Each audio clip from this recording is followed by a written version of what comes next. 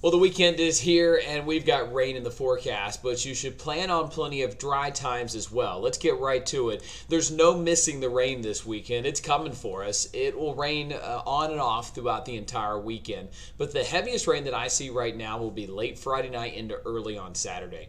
After that, you'll find pockets of dry time that could be hours long, which is good news for area football games. You've got Clemson and Furman, you've got Georgia, you've got Wofford going to Elon all those games are in the afternoon hours, which is great news. No noon kickoffs because there will be rain heavier times earlier in the day. Now let's get right to the forecast here because I think you'll find that dry time being more prevalent as we go toward the fourth quarter. Temperatures will be hanging tight in the low 70s. So one of the cooler September games that we've had at Death Valley in a long time.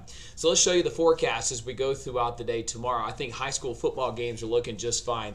The latest high resolution model data in showing the high, highest rainfall potential and range will be uh, in the overnight hours, really after midnight, beyond football time on Friday. And then when you wake up Saturday, you're likely to wake up to rain, uh, heavy at times during the morning hours. But look what happens by the time we get to noon. We're talking about temperatures in the mid 70s with more pockets of dry time. There's plenty of dry weather in here in between those waves of rain. So you'll find time to go outdoors or we might luck out to where a good majority of the football game on Saturday at Death Valley is going to be dry. But there will be rain that tries to move back in thereafter. It's just going to be a little bit more spotty going into Sunday. It won't be as driving and as heavy rain.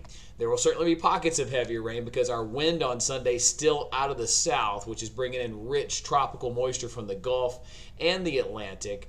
But it's going to take until this front crosses through our area on Monday before we completely clear things back out. So the rainfall potential as of now, the upslope areas where the mountains start to go up, bring out more moisture. We're talking anywhere from one to three inches, a good bet across most areas. But you see there in red, those brighter colors indicate potential for five inches in some locations that had a lot of rain last week. So flooding will be a concern and something we'll watch out for closely as we go throughout the weekend.